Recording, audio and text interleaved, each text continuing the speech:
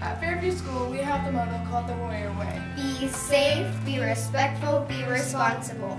I thought this is not only how we should act, but how people should drive on the road.